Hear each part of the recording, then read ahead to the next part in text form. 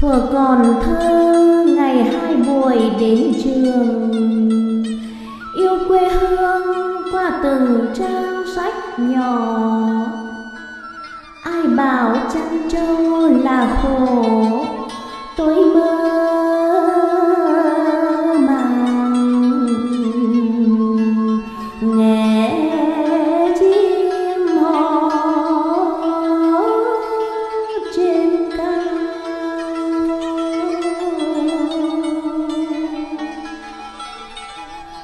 Những ngày trốn học, đuổi bươm cạnh bờ ao.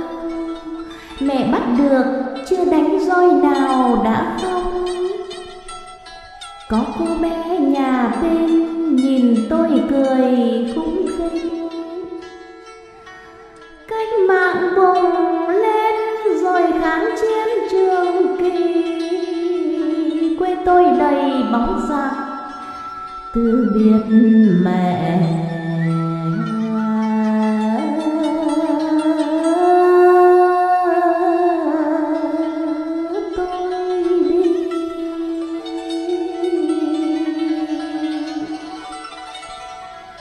cô bé nhà bên. Có ai ngờ cũng vào du kinh hôm gặp tôi vẫn cười khúc khích. Mắt đen tròn, thương thương quá đi thôi. Giữa cuộc hành quân không nói được một lời đơn vị đi qua tôi ngoái đầu nhìn lại. Mưa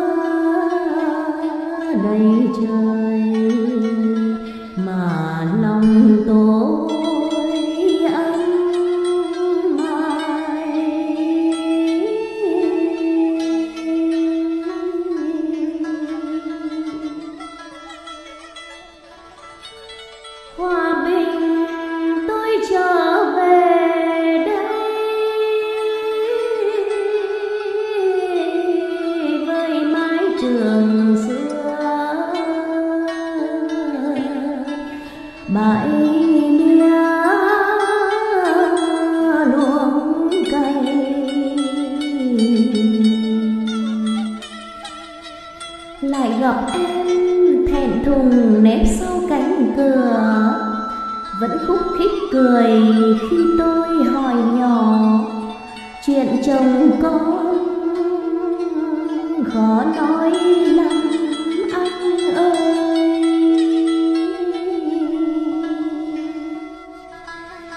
Tôi nắm bàn tay nhỏ nhắn ngậm ngùi, em vẫn để yên trong tay tôi nóng bỏng.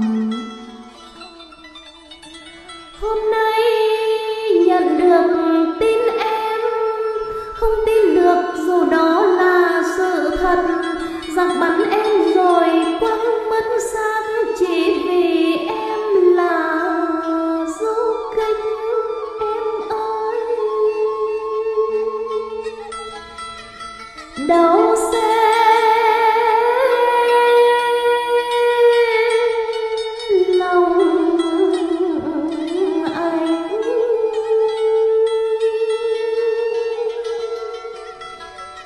chết nửa có.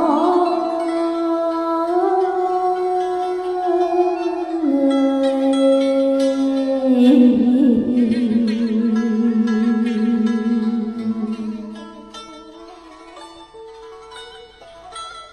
xưa yêu quê hương vì có chi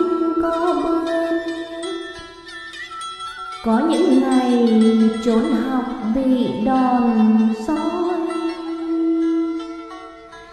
Nay yêu quê hương vì trong từng nắm đất có